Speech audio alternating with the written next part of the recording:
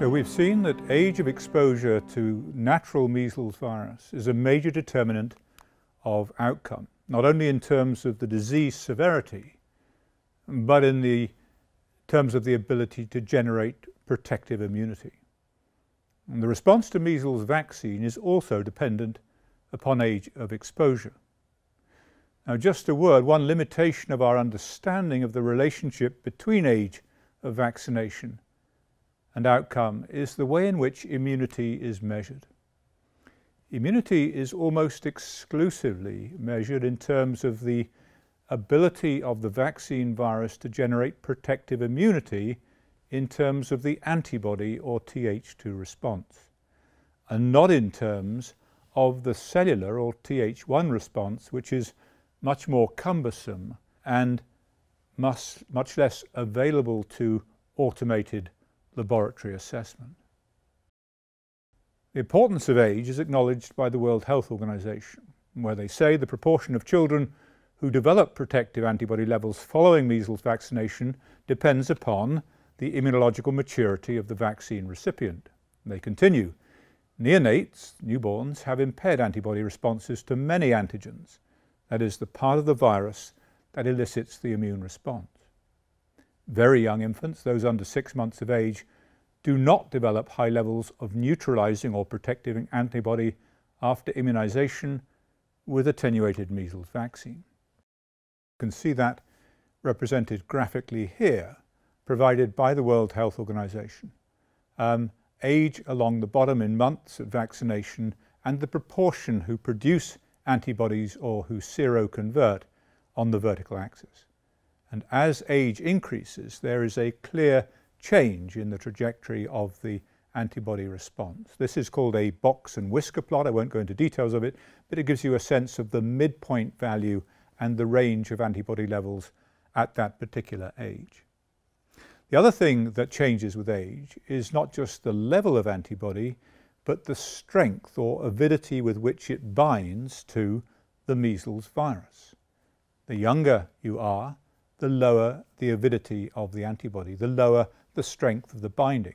The World Health Organization says antibody avidity to measles virus is generally lower in children va vaccinated at six or nine months compared with children vaccinated at 12 months of age. What actually influences the antibody response? The proportion of children who develop protective antibody levels following measles vaccination depends upon not only the immunological maturity of the vaccine recipient, but also the presence of inhibitory maternal antibodies. So child-related factors, immunological maturity, and maternal factors, passive transplacental immunity. Passively acquired immunity from the mother protects infants for a variable period during the first year of life. It's actually actively secreted from the placenta into the infant bloodstream from around 28 weeks of gestation. Factors that influence the quality of this immunity include maternal antibody levels, the efficiency of placental transfer, that is the health of the placenta if you like, the rate that the infant breaks down those antibodies, they are protein and therefore in circumstances of malnutrition they may be broken down more quickly than elsewhere, and most importantly natural infection which produces good passive antibody and vaccination which is, does not. So here we have a situation in which when the child is exposed to the vaccine, it is antibody from the mother that binds to the virus and actually blocks the activation or the priming of the baby's immune system to measles virus. The benefit is that the baby is protected during the first year of life. But what this means is that the baby cannot produce their own antibodies in response to measles vaccine. Infants of six months or younger do not develop adequate protective antibodies after measles, however, even in the absence of maternal antibodies. So there are these two conspiring factors of maturity and the maternal antibody level. Other aspects of the immune response to measles are impaired in neonates. They're details that we don't need to go into now. But maternal antibody and immune system immaturity are perceived as barriers to successful universal vaccination. And this is relevant to developing countries where there have been attempts to protect infants, babies under the age of one, using immunization in the face of maternal antibodies. So let's talk about those efforts to overcome the inhibitory effect of maternal antibody in developing countries in order to vaccinate babies earlier. Adverse events associated with the high titer measles vaccine. One strategy to overcome the inhibitory effect of maternal antibody was to give what is called high titer or high potency vaccine, called the Edmonston Zagreb strain, at 10 to 100 times the standard dose. These were given to children of 4 to 6 months of age in Mexico, the Gambia, Senegal, Guinea-Bissau, Togo and Haiti. What they observed, unexpectedly, was a delayed excess mortality, specifically in girls, up to one to two years after the vaccination, compared with girls given standard titer vaccines, the routine vaccine, at nine months of age. The mechanism for this excess mortality was never established, but it was thought to be the immunosuppressive effect of the high titer vaccine, specifically in girls given early on. For example, in Senegal in 1987 to 89, children who received the Edmonston Zagreb high titer vaccine had a mortality rate 80% higher than children who received a standard vaccine. There were estimated to be 75 excess deaths for every 1,000 babies vaccinated as a consequence. It's been proposed that one out of every six babies vaccinated with this vaccine died within three years. The problem didn't go away, even though it was suggested it should be stopped, and indeed was stopped in developing countries. In 1990, in Los Angeles County in the United States, an unauthorized experiment was conducted by the CDC on 1,500 inner city minority children in Los Angeles County. Children were given the Edmonston Zagreb high titer vaccine. And the problem is that children, the parents did not know that it was not a licensed vaccine, that it hadn't been approved, and that this, this whole process was entirely experimental. Indeed, they were not told that there had been deaths associated with this vaccine in developing countries.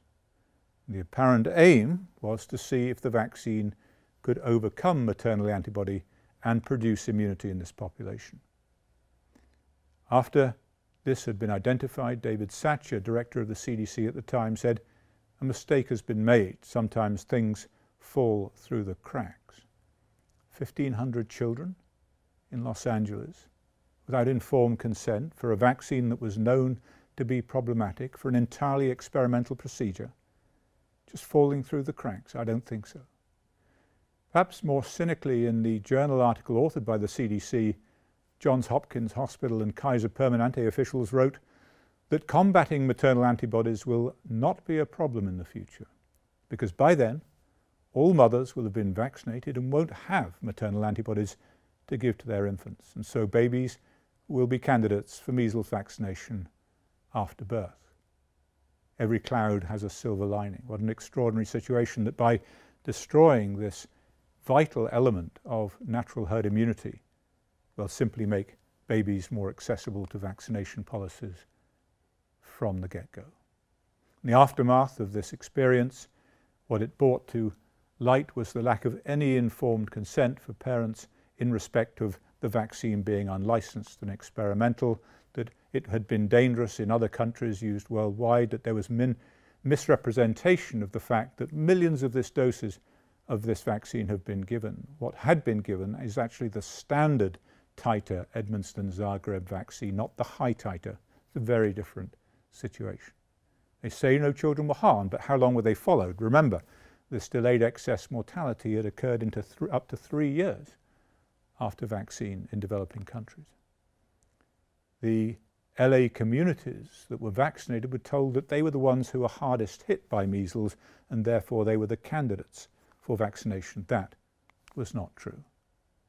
They were also told that in third world countries the deaths in children following the vaccine were due to malnourishment and lack of access to healthcare.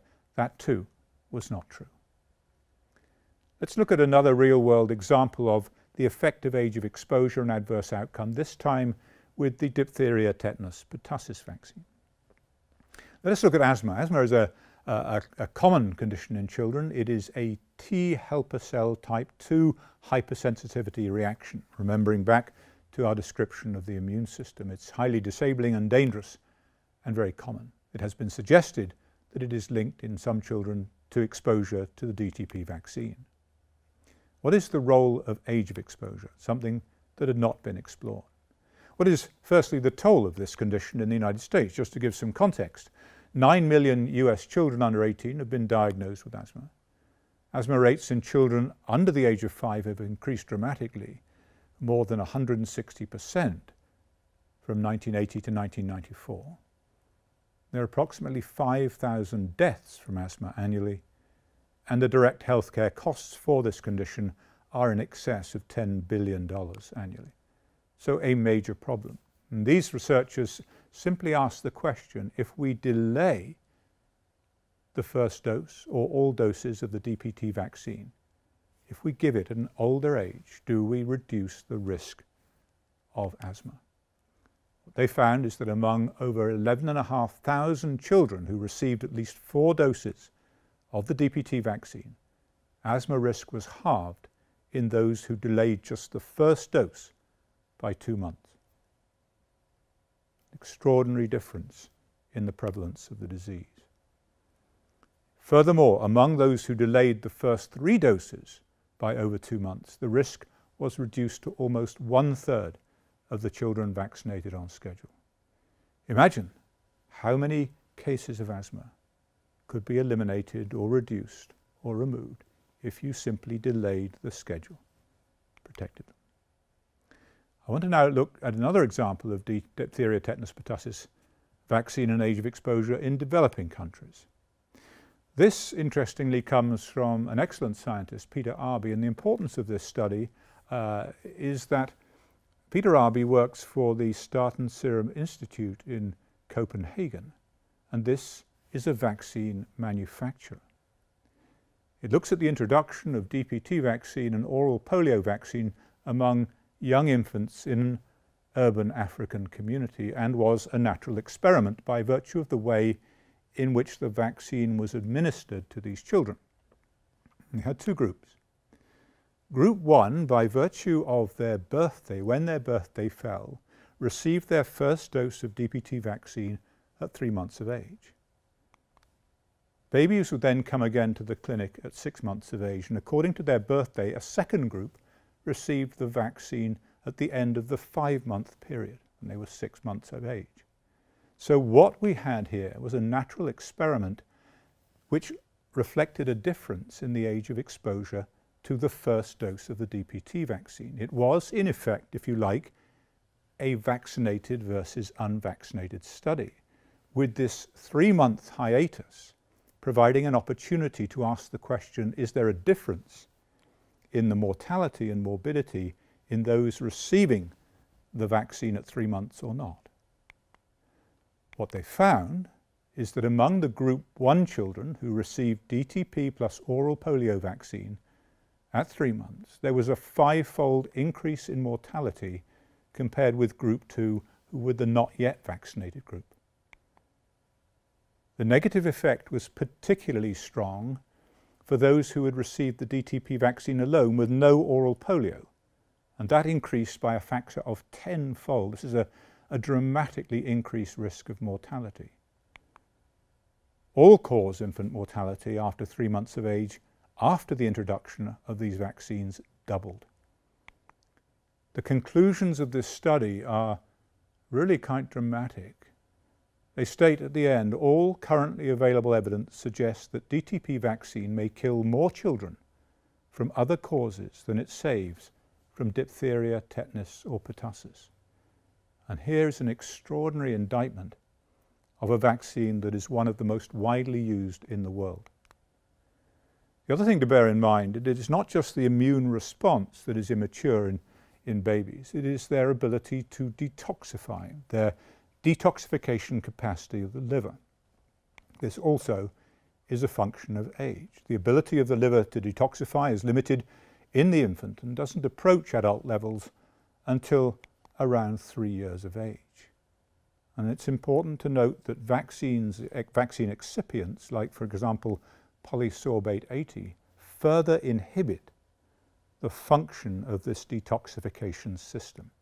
So not only is it immature in babies, it is further impaired by the contaminants and excipients that are found in vaccines. And so in summary, the response to vaccines, both protective and adverse, is age dependent. Immune responses to measles vaccine depend upon various factors, including immunological maturity in the infant and maternal immunity. Vaccination in particular has negated the maternal immunity, such an important aspect of natural herd immunity, leaving chill infants now at risk under the age of one. We've seen real-world examples of age-related risk in terms of adverse reactions from vaccines, and quite clearly, one size does not fit all.